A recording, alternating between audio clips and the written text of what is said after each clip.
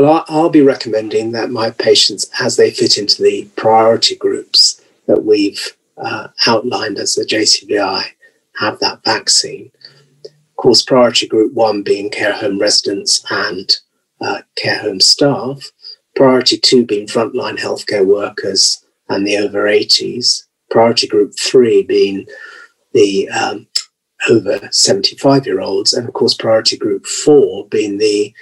clinically extremely vulnerable group at the over 70s. And as we work down those groups, those age cohorts, I will be enthusiastically um,